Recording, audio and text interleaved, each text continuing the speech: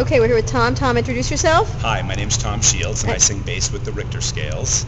And you We're- guys did the very popular Here Comes Another Bubble video. We did, thank you, yes. So I sing, I'm on the video, and our, my colleague Matt Hempey is the one who actually wrote the words and created all the video. Uh-huh. And the Richter Scales is a singing group in San Francisco, right? We are a singing group, yes. Right, interesting. And it was a very popular video. We just showed it today. Now, Thank you. there's a problem.